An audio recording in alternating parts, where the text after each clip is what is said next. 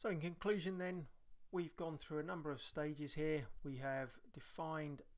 our node or slave Jenkins machine and we've configured that machine to run up an Amazon EC2 instance in our AWS cloud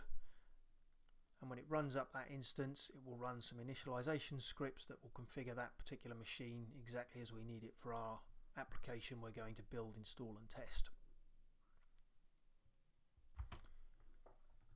In addition to this we've configured our first job and that job was configured to to run on the node that we've labeled as RC build deploy server. It was also configured to build periodically but because we didn't define a particular period here we kick it off manually. We define the shell script that will do the build and the install for the application and then finally we configured some post build tasks that will do some initial smoke tests and check that the application is actually running. We then saw how you can kick off that particular job or build by clicking and manually driving that schedule and then each time